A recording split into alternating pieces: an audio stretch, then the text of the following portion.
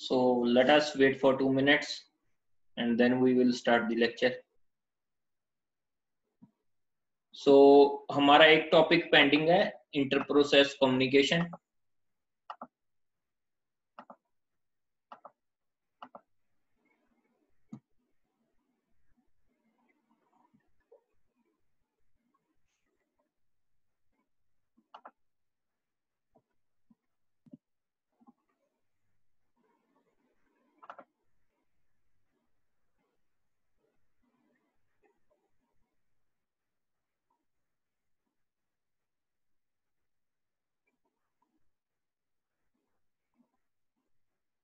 so let us start अब inter process communication में क्या होगा कि आपके पास कम्युनिकेशन होगी, वो बिटवीन प्रोसेसेस होगी। तो उसका मतलब क्या है कि आपके पास कुछ प्रोसेसेस होंगे जो शायद शेयर्ड रिसोर्सेज के लिए को यूज़ कर रहे होंगे और आपस में वो कम्युनिकेट कर रहे हैं ठीक है? तो उसी के रिगार्डिंग है ये। तो नेक्स्ट फिफ्टीन ट्वेंटी मिनट्स में हमारा ये टॉपिक हो जाएगा। तो processes within a system may be independent और कोऑपरेटिंग अब इंडिपेंडेंट प्रोसेसेस कौन से होंगे? अब बुक की डेफिनेशन पढ़ रहा हूँ मैं। अब process is independent if it can not affect or be affected by other processes executing in this system meaning क्या है इंडिपेंडेंट प्रोसेस का? इंडिपेंडेंट प्रोसेस का मीनिंग क्या है कि आपके पास चाहे दो प्रोसेसेस इकट्ठे कर रहे हैं लेकिन दोनों को एक दूसरे से कोई लेना देना नहीं है। दोनों बिल्कुल इंडिपेंडेंट है कोई वेरिएबल कोई रिसोर्स वो सिमिलर यूज़ नहीं कर रहे। क्लियर सो so, वो क्या होगा आपका? Independent process so cooperating process में क्या होगा कि जो प्रोसेसेस अफेक्ट हो सकते हैं दूसरे प्रोसेसेस से इंक्लूडिंग डेटा शेयरिंग या शेयर्ड वेरिएबल्स ऐसी जो सारी चीज़ें हैं। तो एक है आपके पास कॉपरेटिंग प्रोसेस एक है आपके पास इंडिपेंडेंट प्रोसेस तो अब रीजंस हमें कॉपरेटिंग प्रोसेस क्यों चाहिए? First one is information sharing.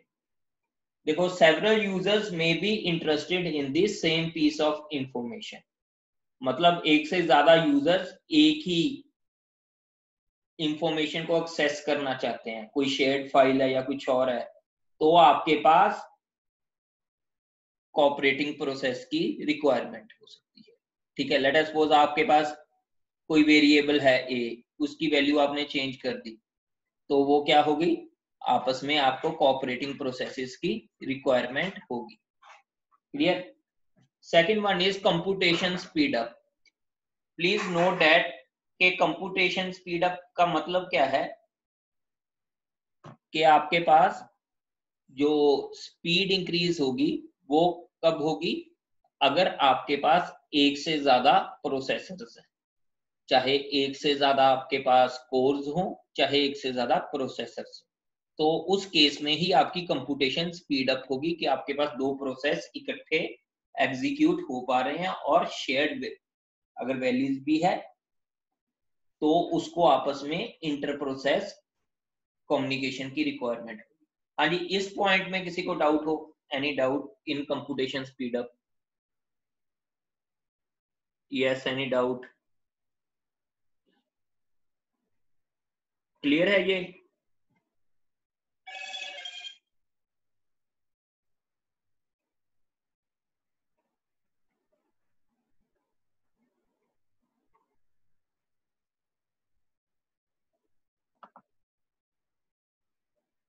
Repeat कर देता हूँ। देखो कंप्यूटेशन स्पीड अप हमें मालूम है कि किस केस में होगा, अगर प्रोसेसर की बात करें तो वो होगी जब पैरेलल प्रोसेसिंग होगी। ठीक है? अब पैरेलल प्रोसेसिंग किस केस में होगी? जब हमारे पास मल्टीपल प्रोसेसर्स होंगे, या मल्टी कोर सिस्टम होगा आपका। ठीक है? अब जब एक मतलब के दो प्रोसेसेस हैं, और दोनों पैरेलली अलग अलग प्रोसेसेस पर एग्जीक्यूट कर रहे हैं। और लेकिन उसमें शेयर्ड वेरिएबल है।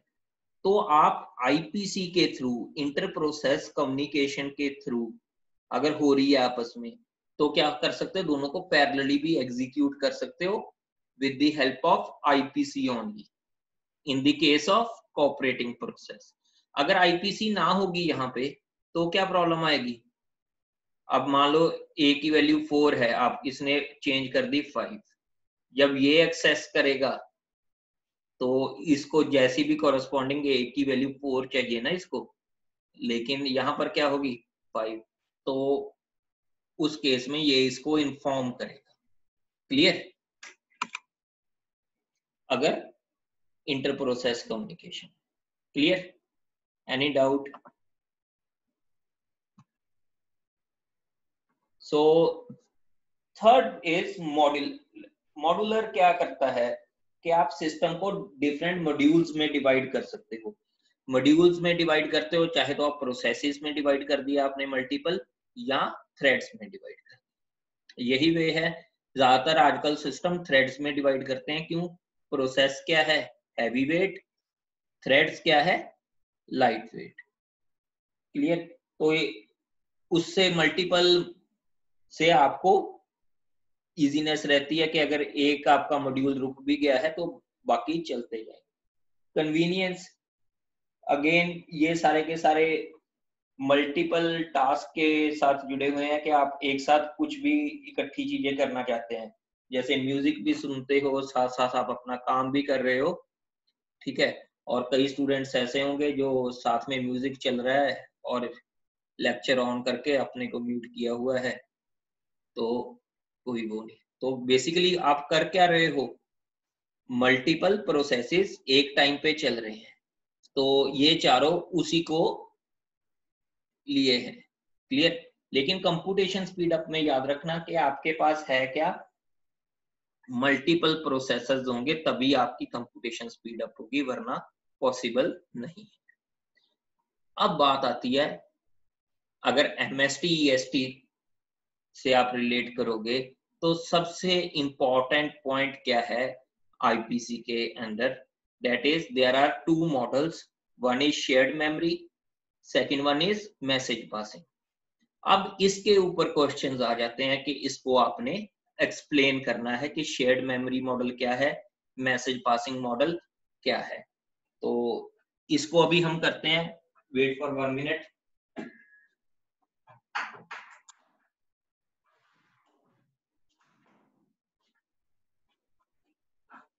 तो अब ये शेयर्ड मेमोरी में क्या होगा आपके पास और मैसेज पासिंग में क्या होगा?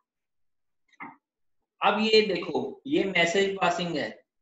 मैसेज पासिंग में प्रोसेस ए ने प्रोसेस बी से अगर कोई भी कम्युनिकेट करना है तो वो किसके थ्रू कम्युनिकेट कर रहा है? कर्नल के थ्रू हर मैसेज कर्नल के थ्रू सिस्टम कॉल कॉल होगी। और यहाँ पर मैसेज क्यू होगी, जो भी मैसेज आपने पहुंचाना है प्रोसेस ए को प्रोसेस बी के लिए थ्रू कर्नल प्रोसेस बी ने प्रोसेस ए के लिए थ्रू कर्नल अब शेयर्ड मेमोरी मॉडल में क्या है? कि जिस प्रोसेस ने अपने अंदर ऑपरेटिंग सिस्टम ने ऐसा रखा हुआ है कि जैसे लेटर सपोज़ ऑपरेटिंग सिस्टम में ऐसे होता है कि वो प्रोसेस की मेमोरी पहले ही एलोकेट कर देता है। Let us suppose process A का रैम में है फ्रॉम 500 टू 1049 ठीक है? तो इसके ऊपर है। लेकिन ये 500 टू 100 तक तो करता है अपना नॉर्मल प्रोसेसिंग का काम। और फ्रॉम 1001 टू 1049 ये करता है इसने मेमोरी शेयर्ड कर रखी है कि जो दूसरा प्रोसेस इसके साथ कम्युनिकेट करना चाहता है लेट सपोज़ प्रोसेस बी है, वो यहाँ पर आकर कम्युनिकेट कर सकता है। तो इसमें कर्नल का कोई रोल नहीं रहा, ठीक है? क्योंकि प्रोसेस बी ने सीधा ये आपने पहले से रखा हुआ है एरिया तो प्रोसेस बी सीधा अपनी इंफॉर्मेशन यहाँ रखेगा और प्रोसेस से भी शेयर्ड मेमोरी में यहाँ पर रख देगा तो अब मेरा क्वेश्चन है कि इन दोनों में फास्टर कौन सा होगा? तो चैट में बताओ कि हमने जैसे पहले टाइप्स ऑफ़ कर्नल्स किया था तो उसमें, उससे रिलेटेड ही है इसका आंसर के इन दोनों में से फास्टर किस कम्युनिकेशन किसकी होगी?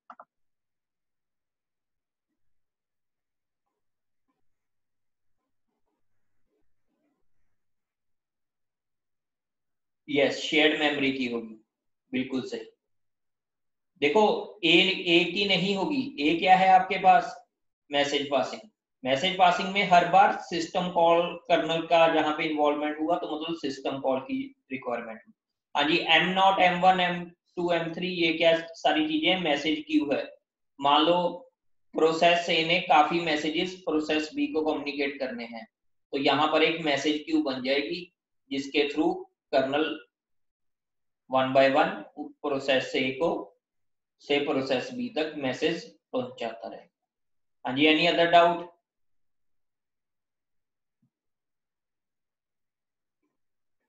एरो नहीं समझ में आए। देखो, यहाँ पर एरो का क्या रिप्रेजेंट है कि ये बाई डायरेक्शनल कम्युनिकेशन है। प्रोसेस ए भी प्रोसेस बी से कम्युनिकेट कर सकता है प्रोसेस बी भी प्रोसेस ए से कम्युनिकेट कर सकता है।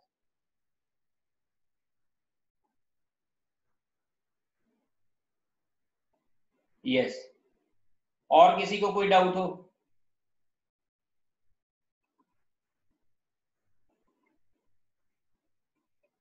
क्लियर है ये? एनी डाउट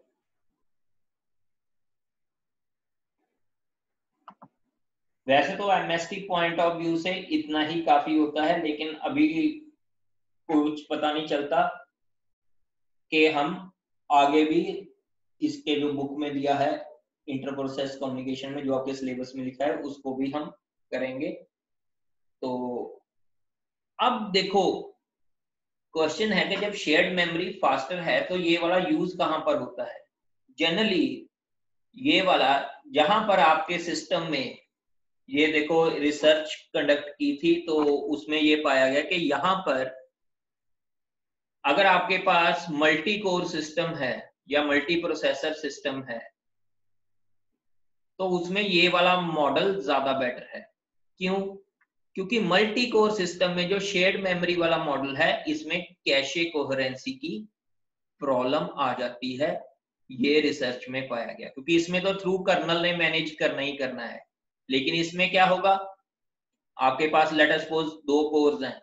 तो इसकी लोकल मेमोरी में वेरिएबल हो सकता है, इसकी लोकल कैशे में वेरिएबल की वैल्यूज़ चेंज हो सकती है। तो वो अलग अलग वैल्यूज़ आ जाएँगी तो प्रॉब्लम आ जाएगी। इसमें क्योंकि हर काम ही कर्नल के थ्रू हो रहा है तो कर्नल कंट्रोल में है। तो वो उसको वैसे ही दे सकता है। क्लियर तो ये रिसर्च में पाया गया कि इन फॉर मल्टी कोर सिस्टम्स और पैरेलल प्रोसेसिंग सिस्टम या आप बोल सकते हैं multi processor systems message passing की परफॉर्मेंस बेटर आई शेयर्ड मेमोरी से। Clear any doubt up till now so आगे हम अब इन दोनों मॉडल्स को करते हैं। पहले शेयर्ड मेमोरी की बात करते हैं।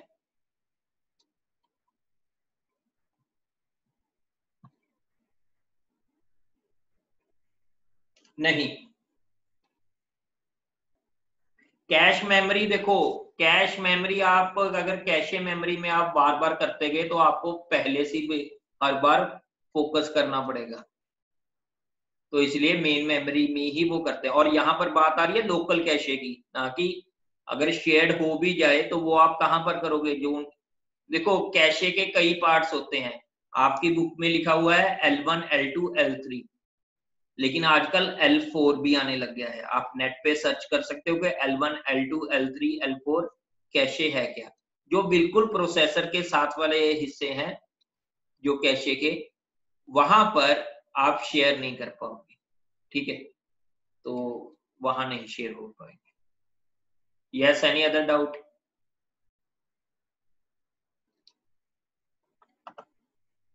देखो, यहाँ पर ये शेयर्ड मेमोरी का है। मैं फिर से कह रहा हूँ कि इसको ज़्यादा डिटेल में करने की रिक्वायरमेंट नहीं। वैसे तो प्रोग्राम भी दिया हुआ है। आपको डेटा स्ट्रक्चर है इस बार सब्जेक्ट यस एनीबडी यस या नो में बताओ डेटा स्ट्रक्चर है? तो फिर आपको ये समझ में आ जाएगा। तो मैं आपको जस्ट एक बताता हूँ कि इसमें है क्या? प्रोड्यूसर प्रोसेस क्या करेगा? अब शेयर्ड मेमोरी की एग्जांपल ले रहे हैं कि इंटर प्रोसेस कम्युनिकेशन है तो चाहे शेयर्ड मेमोरी है चाहे आपके पास आ, दूसरा मेथड कौन सा था? मैसेज पासिंग है। दोनों में हम ज़्यादातर बफर्स की बात ही करते हैं। ठीक है? शेयर्ड मेमोरी में भी अगर जाना है तो यहाँ पर सेंडर कौन है? रिसीवर कौन है? उसकी बात होगी। और मैसेज पासिंग में तो आपने देखा है कि मैसेज क्यू ही होगा तो उससे आपके पास एक से ज़्यादा मैसेज क्यूज भी हो सकती है, ठीक है? तो शेयर्ड मेमोरी में तो क्या है? जैसे ए प्रोसेस ने बी के लिए जाना है तो उनका रीजन फिक्स है कि ये वाले एड्रेस एरियाज़ में ये शेयर करेंगे अब यहाँ पे आपकी बुक में जो दिया हुआ है डेट इज़ शेयर्ड मेमोरी में प्रोड्यूसर कंज्यूमर प्रॉब्लम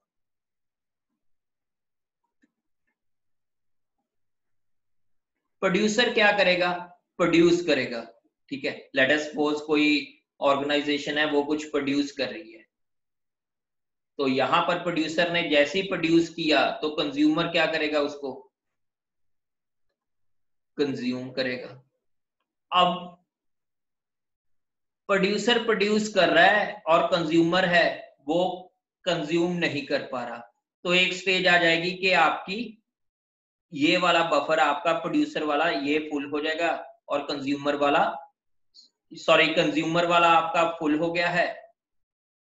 क्योंकि ये कंज्यूम नहीं कर पा रहा और प्रोड्यूसर वाला भी अगर ये ज़्यादा से ज़्यादा प्रोड्यूस करेगा तो सिस्टम विल फेल तो अब आप कैसे बता पाओगे कि इन दोनों के बीच में अब आपने आईपीसी करनी है।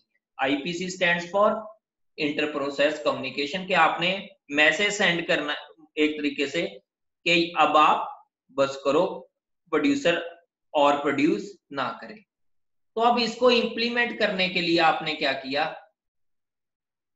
एक सर्कुलर एरे ले लो, कह लो इसको, जिसके दो पॉइंटर्स होंगे। ठीक है? एक आपने रख लिया इन जिसकी वैल्यू आपने इनिशियलाइज कर दी ज़ीरो से। एक रख लिया आउट जिसकी रिप्रेजेंट कर दी ज़ीरो से स्टार्टिंग वैल्यू अब ये डबल पॉइंटर सर्कुलर लिस्ट है, एक तरीके से डबल पॉइंटर सर्कुलर लिस्ट कह लो एरे कह लो, आप कुछ मर्ज़ी कह लो इसको। मतलब कि सर्कुलर एरे में भी क्या होगा, जो लास्ट वाला है, जब भी खत्म होगा, उसके बाद फ़र्स्ट वाला आएगा। तो इसमें क्या कहा गया है कि जो इन है डेट इन क्या है that points to be next free position in the buffer तो अब यहाँ पे नेक्स्ट फ्री पोजीशन कौन सी है? यही फ़र्स्ट वाली आउट क्या है? जो first out points to the first full position in the buffer के जो फ़र्स्ट आपकी फुल है मतलब ऑक्यूपाइड है, उसको रिप्रेजेंट करता है. क्लियर तो आपका, अगर मैं बोलूँ एम्प्टी कब होगा? आपका ये लेटर सपोज़ ये वाला बफर एम्प्टी कब होगा? जब इन इक्वल्स टू आउट होगा.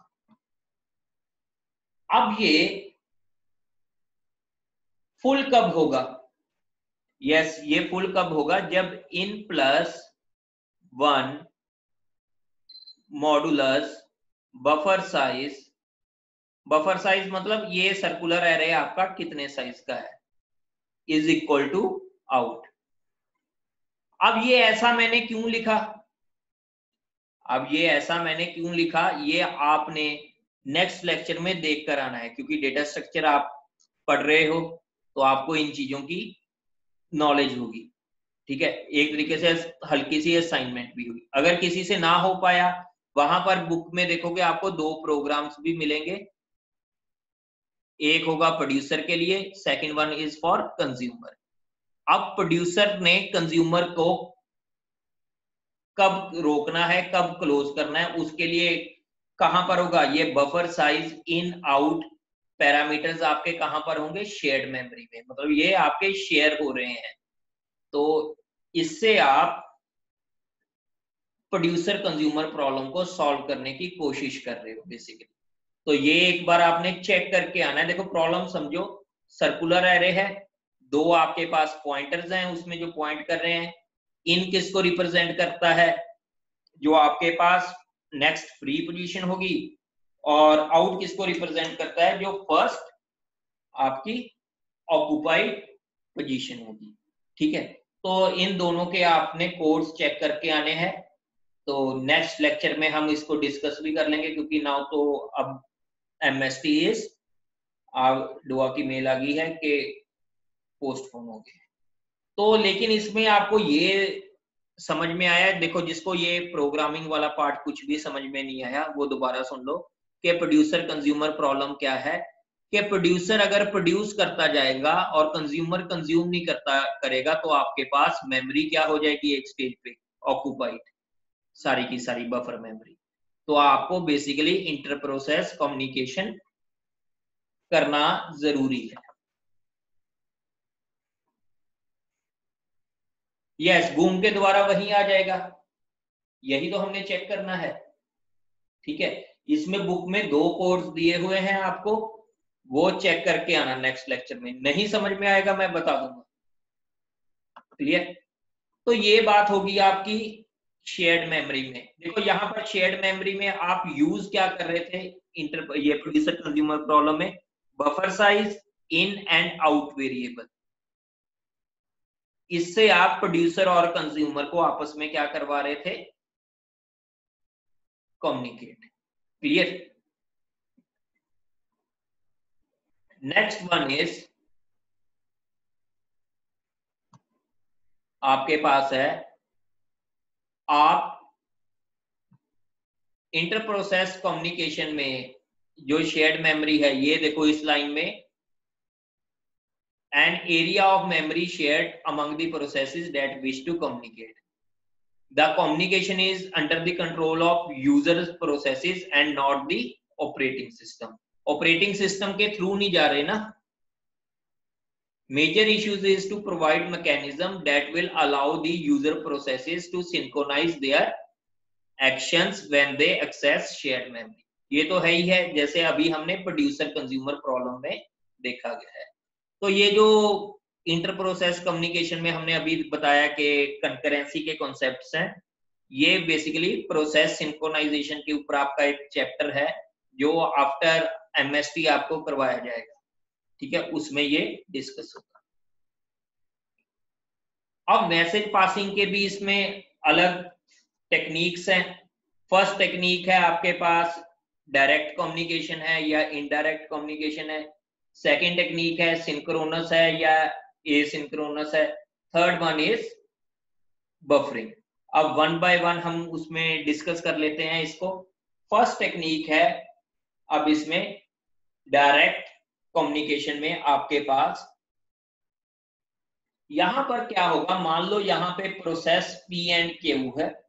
एंड पी एंड क्यू ये आपस में अब कम्युनिकेट होना चाहते हैं. तो जब ये कम्युनिकेट होंगे तो उसमें क्या होगा? आपके पास establish a communication link between them exchange या exchange messages via send and receive यहाँ पर लिखा हुआ ना सेंड मैसेज होगा और रिसीव आप जब बुक देखोगे अपनी, उसमें आपको मिलेगा कि आपने मैसेज दिया सेंड पी कॉमा मैसेज ये पास किया। तो इसका मतलब क्या है? Send a message to P send a message to P आपने लिखा रिसीव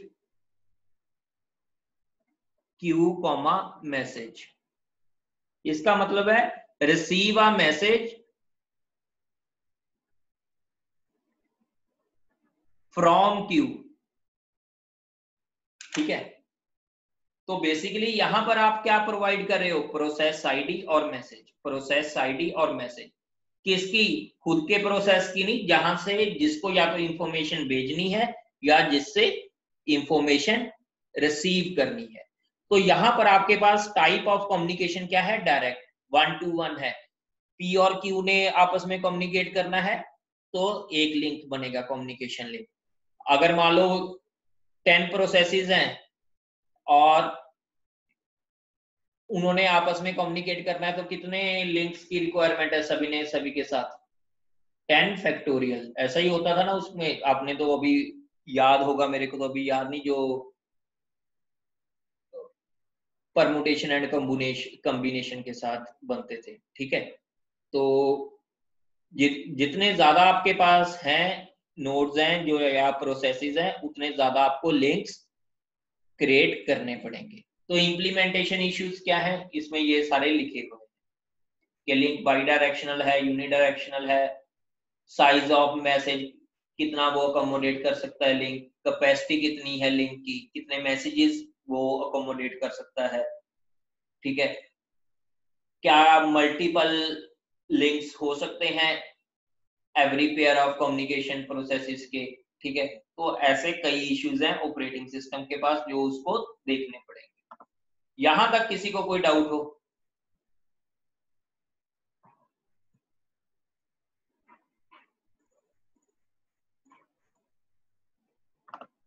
ठीक है। अब कम्युनिकेशन लिंक के ये देखो, ये तो हार्डवेयर वो है। अब डायरेक्ट इनडायरेक्ट ये मैं अभी आपको बताया था कि ये है क्या। अभी हमने डायरेक्ट यूज़ कर लिया है। अब ये शेयर्ड मेमोरी है हार्डवेयर बस है और नेटवर्क है।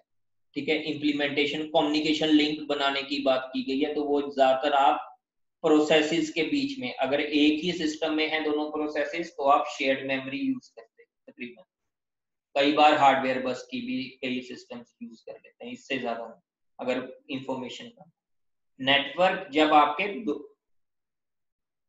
मल्टीपल सिस्टम्स पे दो प्रोसेसेस चल रहे हैं और आपस में उन्होंने कम्युनिकेट करना है तो नेटवर्क की भी रिक्वायरमेंट पड़ती है। ठीक है, ये अभी मैंने बताया है। अब इनडायरेक्ट कम्युनिकेशन में क्या है कि आपके पास प्रोसेसेस जैसे पी से क्यू में आपस में आईपीसी हो रही थी, ये क्या थी? डायरेक्ट अब पी और क्यू एक मेल बॉक्स के थ्रू कम्युनिकेट करेंगे। इसमें पी और क्यू के अलावा भी प्रोसेसेस हो सकते हैं। अब एक प्रोसेस मल्टीपल मेल बॉक्सेस में भी हो सकता है। ठीक है? तो ये अब यहाँ कम्युनिकेशन कैसे हो रही है? थ्रू मेल बॉक्स इससे कौन सी प्रॉब्लम सॉल्व हुई? कि दो, हर दो प्रोसेस के बीच में एक लिंक की रिक्वायरमेंट नहीं है। ठीक है? इतने नंबर ऑफ़ लिंक्स की या हमें कोडिंग कैसे करनी पड़ती थी वहाँ? हर दो प्रोसेस के लिए अलग से कोडिंग करनी पड़ेगी। तो यहाँ इनडायरेक्ट में हमने क्या कर दिया? मेल बॉक्स रख दिया। जो भी प्रोसेस ने इस मेल बॉक्स में ऐड हो जाएगा। तो अगर हमने पी पी से आर जाना है तो थ्रू मेल बॉक्स क्यू से पी जाना है थ्रू मेल बॉक्स पी से आर जाना है तो थ्रू मेल बॉक्स तो बाकी जो काम करना है, इस मेल बॉक्स ने करना है। इंफॉर्मेशन को एक जगह से दूसरी जगह लेकर जाने yes any doubt till now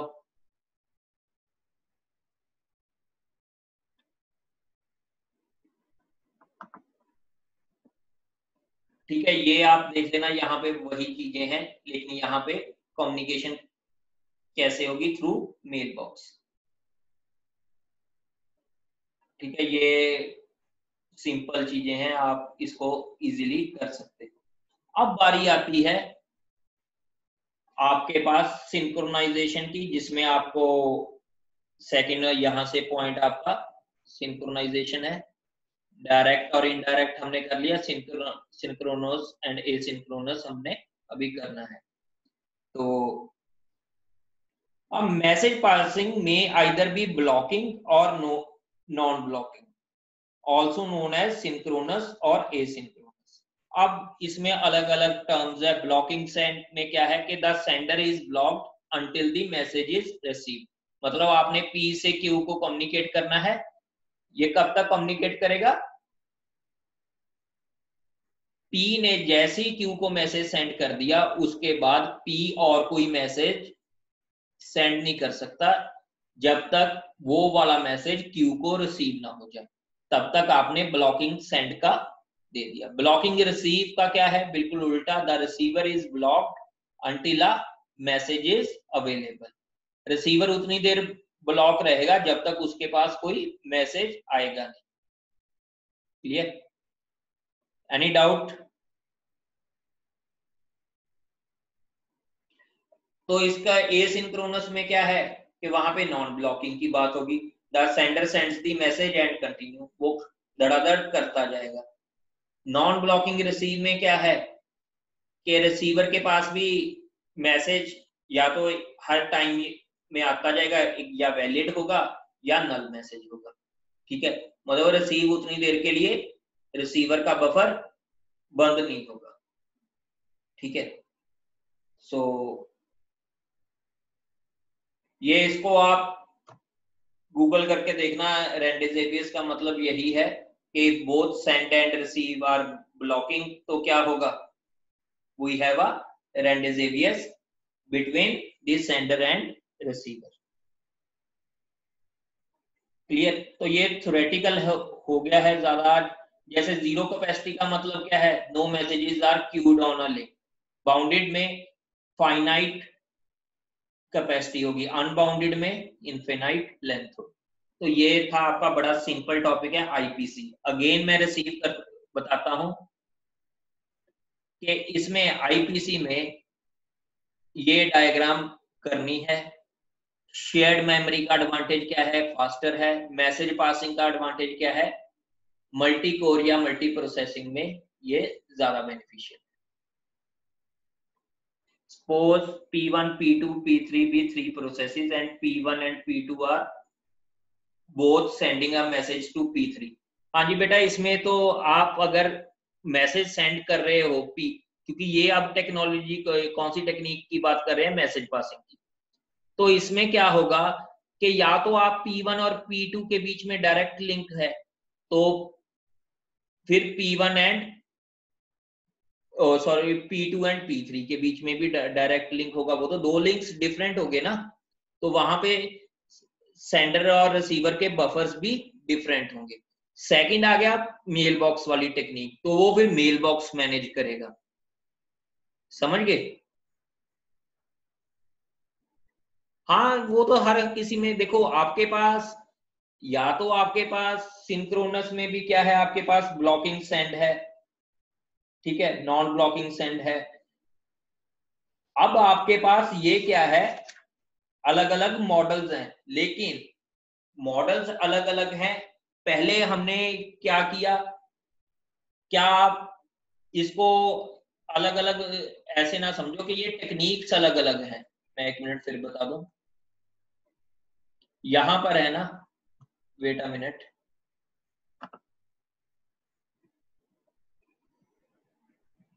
यहाँ पर, ठीक है?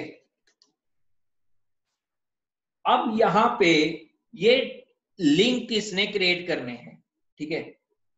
अब अब लिंक तो पहले बनेगा ही ना, अब मैंने आपसे कम्युनिकेट कर रहा हूँ तो मैं किसके थ्रू अब कम्युनिकेट कर रहा हूँ जूम के थ्रू लिंक तो बना ही ना मेरा। अब ये किस तरह की कम्युनिकेशन है? वन टू वन है? नहीं। ये वन टू मैनी है। लेकिन अभी जो मैंने रखा हुआ है फॉर ऑडियो ये यूनिडायरेक्शनल है कि सिर्फ़ मैं ही आपके साथ कम्युनिकेट कर सकता हूँ। लेकिन अगर चैट की बात की जाए, वो बाई डायरेक्शनल है। लेकिन हमारे बीच में कम्युनिकेशन लिंक किसने प्रोवाइड किया? जूम ने। तो यहाँ भी लिंक तो कोई ना कोई होगा ना। तो वैसे ही आप मैनेज करोगे। अगर तो डायरेक्ट है तो आपके पास वन टू वन है। अगर इनडायरेक्ट है तो कोई आपका मेल बॉक्स नहीं होगा तो कुछ और आपने इंप्लीमेंट किया होगा वो आपके लिए हैंडल करेगा। यस एनी डाउट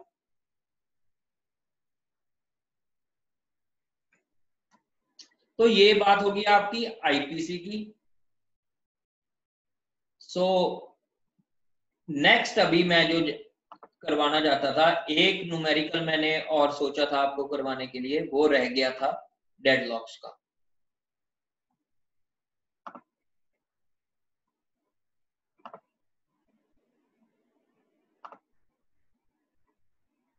इस क्वेश्चन को ध्यान से समझो।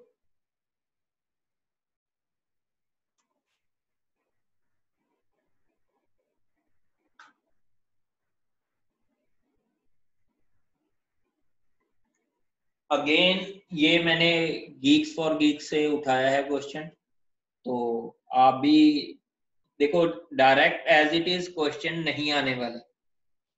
कुछ ना कुछ आपको ट्विस्ट दिया जाएगा। वो ट्विस्ट को समझने के लिए थोड़ी सी प्रैक्टिस होनी चाहिए कि तकरीबन तकरीबन आप हर तरह का कर चुके हो क्वेश्चन अब यहाँ पर स्टेटमेंट देखने में काफ़ी बंदे को लगता है भी इसमें पता नहीं क्या है। ठीक है? और ऑप्शंस देखने में भी लगता है इतनी मैथमेटिकली है। सारे ऑप्शंस लेकिन इतनी बड़ी बात नहीं है, ये काफ़ी सिंपल है। अगर थोड़ा सा पहले क्वेश्चन को समझो। क्वेश्चन को पढ़ लो सभी। टू दो मिनट्स लगाकर, बड़े आराम से।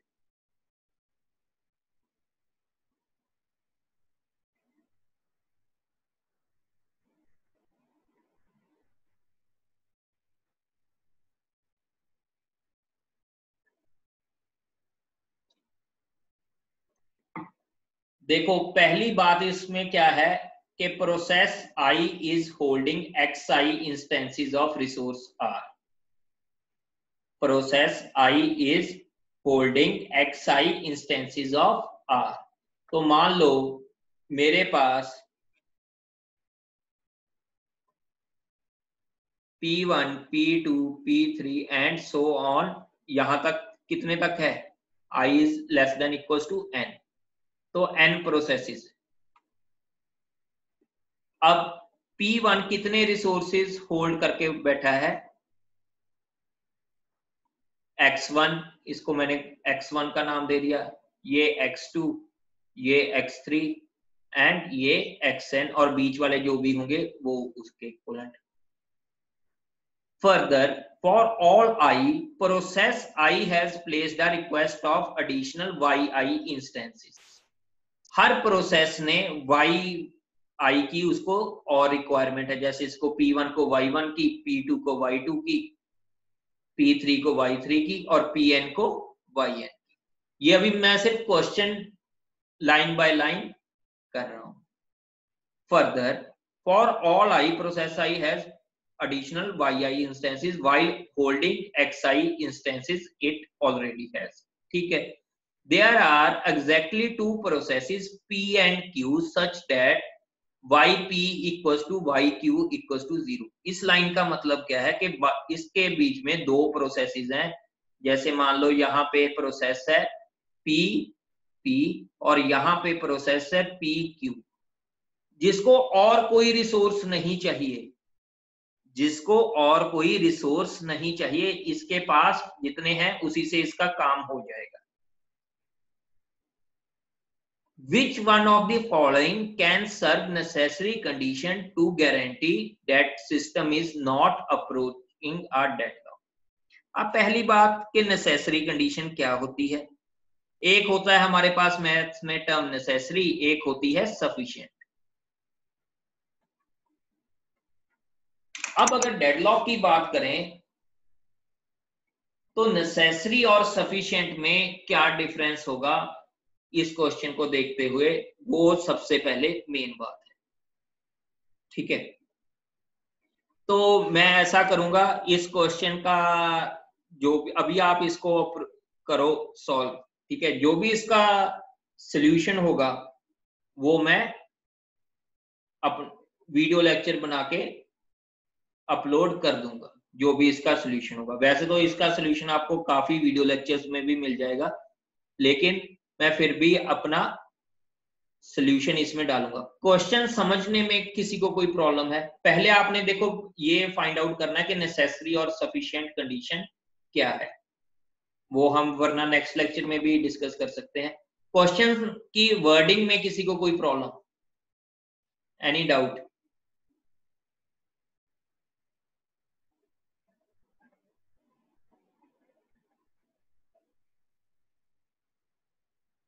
so no doubt देखो, अब नेक्स्ट लेक्चर में ठीक है, आपका एमएसटी आ गया है, वो, लेकिन मेमोरी मैनेजमेंट हम शुरू करेंगे। चाहे एमएसटी सिलेबस का वो पार्ट नहीं है, लेकिन वो इम्पोर्टेंट है। ठीक है? तो वो कंप्लीटली हम न्यूमेरिकल बेस्ड ही चलेंगे ज़्यादातर। तो उसमें आपको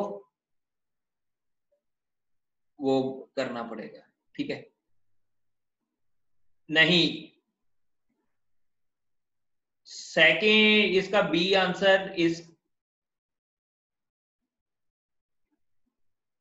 चलो देखते हैं आंसर क्या है, इसका वो हम चेक कर लेंगे। मे बी यहाँ पर गलत लिखा हो, मैं, मैंने भी अभी निकाला। नहीं, सारा नहीं आएगा डेडलॉक नहीं है सिलेबस में। कल ही आपके सीआर ने वो सीएससी वाले ग्रुप में डाला है। और मैंने एमएसटी का सिलेबस एक्सप्लेन भी किया है इवन उसको यूट्यूब पे भी अपलोड किया हुआ है। चलो, हम इसको चेक करके देख लेंगे। ठीक है, मैं इसका जो भी सोल्यूशन होगा, वो मैं आपको बता भी दूँगा। तो इसको सॉल्व करने के बाद हम नेक्स्ट लेक्चर में मेमोरी मैनेजमेंट की बात करेंगे। Memory management means RAM operating system आपका रैम को कैसे देखता है उसकी बात करेंगे। रैम में क्या आएँगे प्रोसेसेस उसको कैसे देखेगा उसकी नेक्स्ट लेक्चर से बात होनी स्टार्ट होगी। वो लेंथी भी है टॉपिक तो हम ये नहीं कर कह सकते कि ऑपरेटिंग सिस्टम का सिलेबस काफ़ी है कि हमें सिलेबस को अभी स्टॉप कर दें। ठीक है? तो नेक्स्ट फुल लेक्चर लगेगा आपका नेक्स्ट टॉपिक के ऊपर। सो so, तो इसको अभी हम करते हैं लेक्चर को फिनिश नेक्स्ट लेक्चर में देखेंगे। और नेक्स्ट लेक्चर में उसकी भी आप देखकर आना इंटर प्रोसेस कम्युनिकेशन में जो प्रोड्यूसर कंज्यूमर प्रॉब्लम है। अगर डाउट आएगा तो मेरे से पूछना।